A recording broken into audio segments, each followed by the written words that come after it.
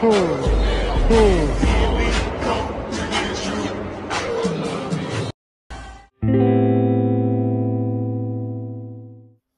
what's up, guys? This is Igor, the Go Wine Merchant. Me, my main man, George Bashara. Uh, check out his great YouTube channel, Wine by the Bay TV. He does a lot of fun stuff. So today's episode, we're gonna drink some uh, fun wines, and we're gonna discuss Deion Primetime Sanders off of a big win this weekend, a win that a lot of people didn't believe in. So we can discuss it. I'll give you my thoughts on it. I, I go pretty deep on this stuff. Let's pour some wine, of course. Uh, And let me give a brief overview. So, all right, Yeah, so let's we're do that. drinking uh, Chianti Classico. All right, guys. So Chianti Classico, uh, that's a region in Tuscany within uh, Italy. Uh, the wines are based on the Sangiovese grape. Uh, so Sangiovese is a fantastic grape. It's mostly known to be in, that Tuscan area. A lot of beautiful tart cherry notes. Uh, you know, classic wine for Italian dishes like pizza or a lot of tomato tomato-based pasta. So uh, we have a good one today from uh, Castello di Radda, uh, and this is from the 2020 vintage. So uh, 2020 was considered an excellent year. You guys, red fruit, kind of earthy characteristics, kind of on the on the nose. I'm getting a little bit of Nutella too. Yeah, you want to say it's fun? I like it. No, Yeah, I, I it's like it. fantastic. Yeah, we'll put more details in the description about this wine and the link where you guys can find it on the website. Yeah, Absolutely. excellent wine. Hey, you know what? Uh, cool thing about this wine? I'm the only uh, uh, wine merchant on the West Coast to carry this wine. I special ordered this wine, so I want to plug that in. How so, much is that? 25 bucks, man. I know. I know. It's fantastic. I know. mean, I know. I might have to buy a bottle. Okay. Anyway, sorry. Back to the football. Yeah. All right, guys. So uh, I think the biggest story in sports right now is the Colorado Buffaloes, led by Coach Prime. Uh, so I haven't been watching the sports. You know, uh, I have this business to run. I really don't have uh, time to watch sports. I the only thing I know about sports is I catch up a little bit about talking heads. I love sports. I just don't watch a lot of sports. And I haven't been watching college football for forever. Like, it's, there's a lot going on. So. Yeah, in, in college. And you got kids too, so you got to get them back to school too. Right, right, right. That, that's why I don't have time. I don't Mhm. have time. I don't watch TV until like late at night. So at that time, it's mostly you watch highlights. In high school and, and, and college, I watched a lot of uh, college football, so I know the sport. It's not like I'm a casual fan. You know, I know the Yeah. sport. I got caught up a little bit in this hype. You know, everybody's talking about uh, Deion. I love Deion. Grew up on Deion. Actually, when I first got into football, period, uh, after we you know immigrated a couple of years after that, I was actually uh, watching. You know, at, at that time, early '90s, the Cowboys and the 49ers, and I'm a 49ers fan, uh, were the two best teams in, in football. Yeah, but the early '90s, he was still on the Falcons, wasn't he? He was on the Falcons. in the mid '90s. Yeah, so there was a big transition in San Francisco when you know Joe Montana was kind of booted out and Steve Young became the quarterback, and he was excellent. But there were two years in a row when uh, the Niners made it to the championship game, they lost to the Cowboys. So they needed to make a big change because you know it was becoming embarrassing because you know the Niners were kind of the team of the Every 80s. year they would go in and get and Get get their asses handed to them. yeah, Yeah, exactly. by a great, great Dallas team. for sure. And then one year they signed Deion Sanders. That was kind of the antidote. So, oh my gosh, everybody in the Bay Area was crazy. Uh, I even have uh, from that time I have my red bandana and I got my high socks. If you Oh, remember yeah, yeah, sure Deion do. style, Yeah, he got the bandana. He's doing the high steps. All the kids wanted to do that thing. So you know, I love Deion. Then he moved to the Cowboys. wasn't big of a Deion fan, but as an athlete, uh, he's you know second to none. Yeah, I followed him a little bit. I know he started co- coaching at, in like uh, Division Two, Jackson State, and in two years, I think he he took them to two championships. So so and now he got to Colorado, and Colorado uh, they were the worst team in Division One football. They had one win last year, and they, they lost by an average of thirty points, which yeah, well, is not only that, they've Yeah. been bad for a while now. It's not like they decades, had one yeah. bad season. I mean, Yes. they've been bad, like you say, couple, at least ten, probably closer to twenty years. So, twenty years. So yeah, not a not a great program at all. the second worst team in college football, their uh, uh, loss differential was 14 points. Wow. Primetime came in, he changed the whole program around. They said they, they- he brought in like 86 new players. You know, to put your philosophy, your coaching philosophy, that, that's like unheard of. So going into the season, uh, what I saw from Vegas, they said that the team is going to win like 2.7 games. So you know, I, I was kind of uh, you know like listening a little bit. I'm like, you know, Deion, I kind of think I, I was thinking to myself, If they lose to TCU, I think they're gonna like a six and six team, which is you know pretty good. If they beat TCU, I think they're gonna win at least nine games. Nine, huh? I don't want to take away from their first win, Yes. but I will say this: it's one thing to see a Division two or Division three team play Yeah, yeah. and try and get a coaching philosophy. It's another thing Yeah. to see week one, brand new coach, all new talent. You know, you can't really scheme for them yet. I want to revisit this topic in about three or four weeks once they played a few games and they have some film of this particular team and that particular coach. You're the type of talking head that this this is gonna be talking about. All right, so let me once again. Okay. So I was listening to talking head. This is pregame. All right. So I didn't know what the uh, what the outcome yet of the game is, and then you know, I was kind of flipping through a lot of YouTube things, and I decided like, hey, you know what? Let me let me go and see what was uh, Deion Sanders' first press conference with the team. I heard it was kind of controversial, Mhm. so I wanted to to watch it. So I was watching. It's about 15 minute uh, video, and you know he kind of uh, tells them, hey, I'm gonna bring my uh, uh, philosophy here. If you guys like it, stay. If you don't like it, go. Mhm. And he kept saying uh, this phrase, "I'm coming." So he says like. Uh, uh, I'm not here to compete. I'm here to win. I'm coming. Um, I'm, I'm here to restore, uh, uh, uh, you know, winning ways. I'm coming. You know, uh, um, I'm not uh, commitment to excellence. I'm coming. So he starts saying that, and you're watching it, and it's kind of like awkward. You're like, you're like, it's, it's kind of doesn't quite rhyme, and it's you know, like I, I was watching on TV, and I was kind of awkward. The, all the players watching were kind of awkward. So, like I said, three or four minutes, he would say like a phrase, and then he would say, "I'm, coming. Yeah. I'm coming." And then, you know, after the whole thing, after the whole conference, he's like, he's telling all the kids, hey, when people ask you what this uh, uh, meeting was about, tell them just two words: "I'm coming." So Coach Prime, you know, he's talking about he's not gonna be the Buffaloes. You know, it's not Coach, Coach Sanders, it's Coach Prime. You know, he's uh, uh, talking to himself in third person. Uh, you know, the, the typical. Some would say arrogant. It's more player style than it is coach style. Yes. Yes. Like that reminds me of Deion the player. yes. You Yes. know, two days before, like the Thursday before Sunday Yes. game, Yes. talking smack. You know, before the before the game. That's what that sounds like to me. But you know, what do I know? my interpretation completely changed about that conference after I uh, watched the game. So I actually watched a lot of the first half of the game, uh, and I was very impressed. You know, I, I was impressed. They were winning. Then I kind of turned off because you know I had to call, uh, come to, to the shop, uh, and it, it became like a tight game. And they pulled it up at the end. So who they were they were playing? They were playing TCU, uh, uh, and TCU they were ranked number 17 in the country, which is pretty high. But last year, TCU actually played in the championship game they got destroyed. It was like one of the most embarrassing games. It was like 65 to 7 or something like that. Yeah, I remember. it was really bad. It- it's really bad. Yeah. But you, you know, theoretically, they were the second best team in the, in the country Yeah, last wow. year. So you take uh, uh, Deion Sanders with 86 new players coming from Division Two to play Division One, playing a second best team in the country. You know, you could kind of say theoretically, and they beat them. And you could tell everybody, you know, everybody's jumping aboard. Yeah, all, all the all the sheep are Right. like you know ahead of that. And uh, he's like, but we have more room on it. And you know, I actually want to say, hey, Coach Prime, if you're watching that and you need a bus driver for We Believe Bus, sign me up. I'm All still right. at the bus stop. Anything? I mean, I saw little bits and pieces, and I thought, like you said, the first quarter they seemed to come out and really take control of the game, and then Yes. they kind of like gave some back. Um, but again, week one, college football, very tough to pre- you know very tough to predict that Yeah. forward Yeah. into the rest of the season. Let's see what these defenses do uh, against him. You know, the following week and the following week and the following week. Yeah. Um, but I thought it was good that they came out and got that win. I think it's important for his image Yes. to get that win because those guys got to buy into him. You know, that's that's that I'm coming line. I'm sure it's something they did in meetings. I'm sure he thought about it before the season. You know, what's our little tag phrase for the year Yes. or whatever. I'm sure you know he's really good at that kind of thing. So yeah, I think that that that was important for them to get that win under their belt. The first thought when I saw that, uh, that they won the game, my first thought was, they're coming. that was my initial thought. What if TCU is overrated? They just choked in the biggest uh, football game, and now they choked under the uh, uh, lights again. What if they're not that good? What if they beat a team that's not even a 25 ranked team? That's kind of the argument. I don't agree with that because let's say they're let's say they're ranked 34. Yes.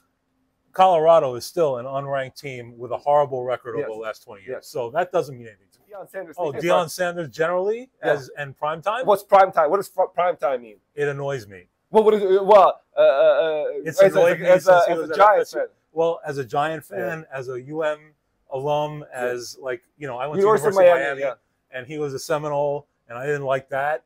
I didn't I didn't mind him at the Falcons, although I thought he was a little bit of a of a ham of a hot dog. Yeah, he's a hot dog, but okay, whatever. That there were a lot of guys back then, Yeah. and even now that were doing that kind of thing. But when he came to the Niners and then he came to the Cowboys, which I really took offense at, Yes. I got very angry because as a Giants fan, I did not need him in my life. Yeah. He was in the NFC, but they really weren't a threat. The, Yeah. You know, the Atlanta Falcons were not really on anybody's radar, except that they could put up a lot of points on any given Sunday, but they weren't like an overall seasonal threat. Yes. So, but when he went to the Cowboys and the Niners, it really, really burned me. I mean, I couldn't take it. I wore my Giants hat, not Yeah. knowing we were going to talk about this, because football is starting up next week. Yeah. But I'm going to tell you, I'm never, I've never a big primetime guy. I, I admit that he's a great athlete. Went played two ways, Mm-hmm. All that kind of thing. But I don't like the man personally. I think he's a hot dog, and I don't, I don't particularly care for him. So what do you think prime prime time means? When the lights are on, he shows up. Exactly. That's Yeah. exactly how I interpret it. Prime time. That's I think that's a television term, right? Prime time is when there's the most eyes on the television. That's where he plays the best. Yeah, unfortunately, you're right. I mean, you're right. That's what I thought. I thought his kids kind of showed the same prime time demeanor. When the lights were bright, they showed up. I, I saw some talking heads, and you know they were hyperventilating how, how good he was. You know, even more so than I am. They're like, they were they were like, you know what? From now, things are gonna change. The athletic directors, uh, you know, like uh, they're gonna ch- uh, start hiring people differently. And my thought was this: Deion Sanders is one of one. Things are gonna be different because there ain't no other Deions. There's no other coaches like Deion Sanders. There ain't no other showboaters like Deion Sanders. Well, that's true. He and there ain't no other goat wine merchants like you. That's why I wore this hat. You wore that hat. I wore this hat. The Go Wine Merchant, one on one. Deion Sanders, one on one. I thought Kanye West, to me, Kanye West is one on one. Uh, Prince, I thought was one on one. For sure. Uh, and you love this one, George. Tyson Fury, the heavyweight champ, is one on one. He's a one of one. Yeah, I think so. Who else is one on one? Because my list kind of ended. Oh, oh, no, I, there's plenty of them. Oh, Oh, yeah. my God. There's I- so many. Marlon Brando. yes. That's a one on one. Yeah. Okay. Yes. You know? Okay. Marlon Brando is a great. One. I mean, yes. you know, there's a Yeah. bunch of them. I don't want to get Brando's into a great. big long list, but I think if you really think hard, but you got to be discerning, like you did it. Yeah. You know, very discerning. Yeah. I don't think Pacino is one of one. He's a supreme talent, yes. but he's not a one of one. I don't know if Michael Jackson one on one. I You don't think so? I thought about it, but I didn't put him on my I'm list. surprised. It's something, and, and it's something to do. Uh, so I don't know. Mind you, I'm not a Michael Jackson person. you know, Jerry Rice is you know a fantastic receiver. I don't think he's one on one. No, but I, I get your point. Yeah. He's a one of one guy. You're not going to go to every showboater Right. and give him a college team and go, okay, here you go. I mean, I don't care how talented. Look, Well, look. Yeah. Here's a perfect example. Yes.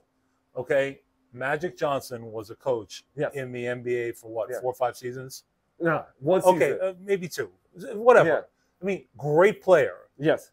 lousy coach. Okay, same thing with Michael Jordan. You want to talk about one of one? Yes. Michael Jordan or Kobe Bryant are ones of ones. Okay. Okay, those two. Well, maybe two of two of one. Okay. uh, one of two rather. You Yeah. know, but elite, elite talent and work ethic like nobody's Yes. business. And work ethic. Yes. And those Yes. guys cannot coach because they cannot understand what it is to be average. That's kind of. and that's where Deion is different because it seems like he's able to communicate with the average player Yes. or the above average player, even though he is personally an elite talent. Yeah. And that's hard to do. So yeah, so that you know that's kind of uh, uh, how I, I came across you know one on one, and you know you, uh, it's funny you, you mentioned that because there's a lot of like this uh, uh, talk in college right now about college actually getting paid. NIL is a big like thing. I don't I, I don't quite get NIL name, image, likeness. Yeah. but somehow you want to get paid. But even he said during the conference, he's like, I want you guys to think about NFL, not NIL. And the way I took it uh, is, is that you guys are thinking small. NIL, you want to capitalize on your image. Like in this moment in time, you're not focusing on the big picture. That you could be a grand superstar if you put in the work.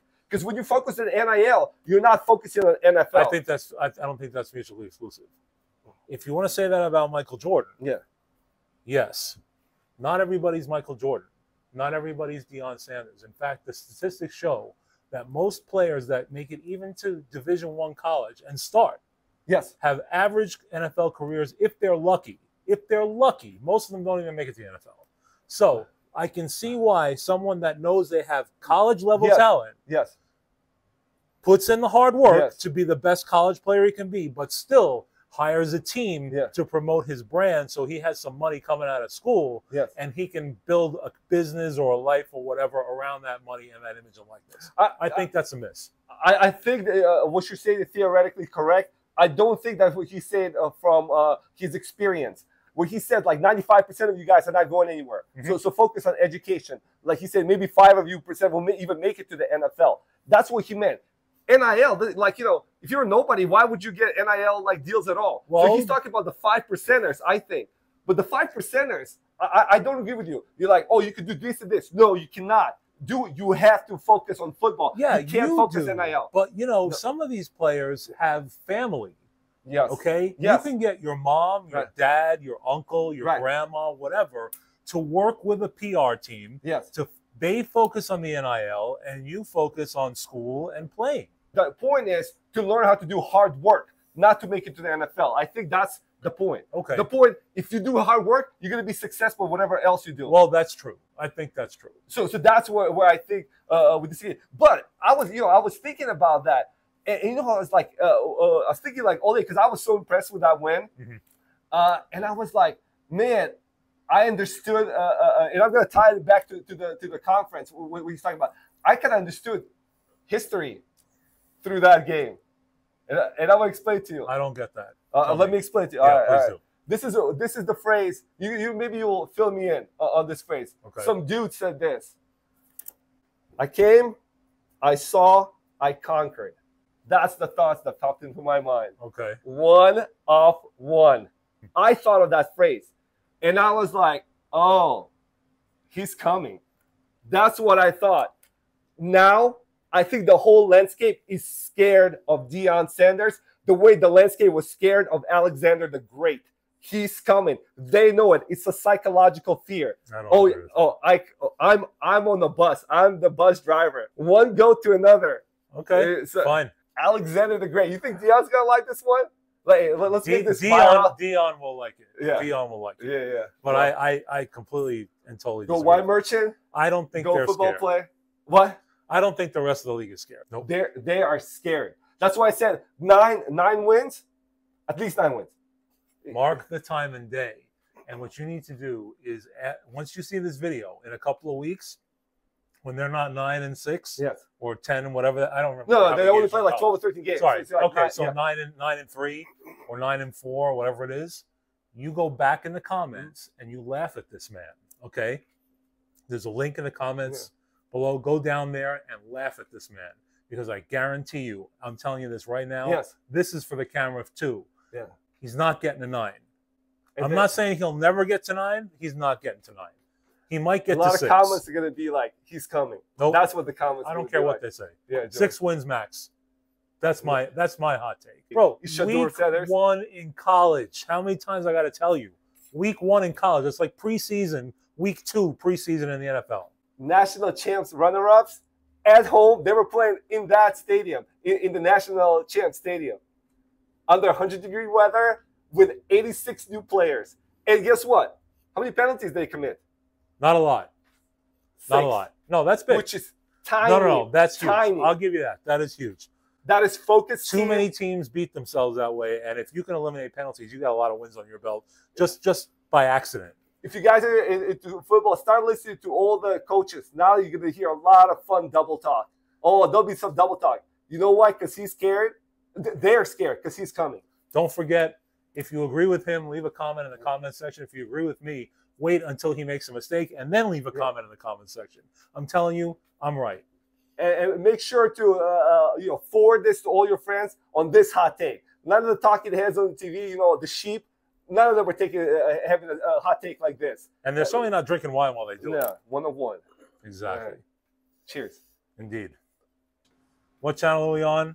You know, Vinous Reverie TV, guys, uh, and then make sure to pick up this wine. It's fantastic. And don't forget to come to the tastings if you're in the area, right? Yes, every Friday and Saturday. We do fun stuff. That's what the Go does. I specialize in wine. Deion Sanders specializes in conquering the world.